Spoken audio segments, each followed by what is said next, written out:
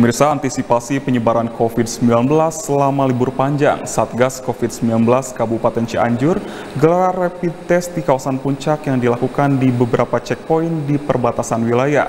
Rapid test bagi pendatang luar daerah tersebut dipimpin langsung oleh Wakil Gubernur Jawa Barat, UU Ruzanul Ulum.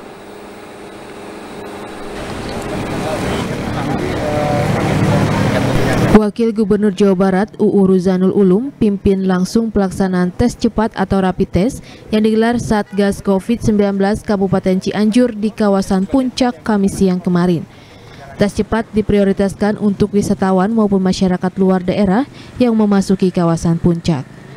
Tujuannya tidak lain untuk menghindari penyebaran COVID-19 di masa libur panjang ini mengingat kawasan puncak menjadi destinasi pilihan masyarakat luar daerah untuk menghabiskan masa libur mereka.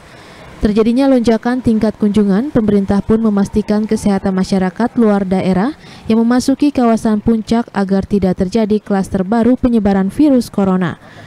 Untuk itu, Satgas COVID-19 pun disiagakan di sejumlah titik perbatasan, termasuk di checkpoint di jalur puncak.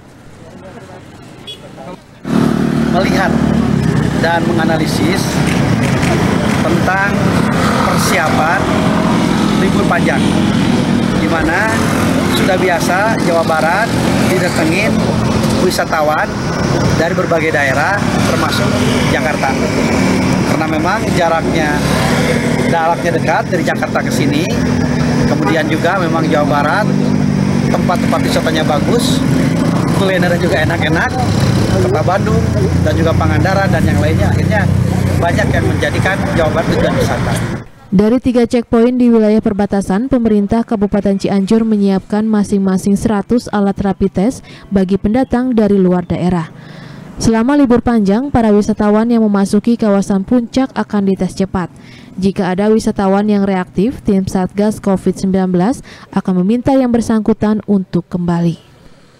Ya, di rapid test tadi. Di rapid test. Hasilnya gimana? Alhamdulillah hasilnya non reaktif. Jadi bisa aman sih.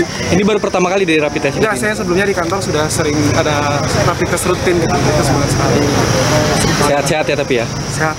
Hasilnya 100 orang wisatawan dinyatakan non-reaktif setelah menjalani tes cepat. Tak bisa ditahan arus wisata yang datang, pemerintah melalui Satgas COVID-19 terus mengingatkan masyarakat untuk tetap menerapkan protokol kesehatan, mulai dari menggunakan masker, jaga jarak dan menghindari kerumunan, serta rajin cuci tangan menggunakan sabun dan air yang mengalir. Heri Setiawan, Bandung TV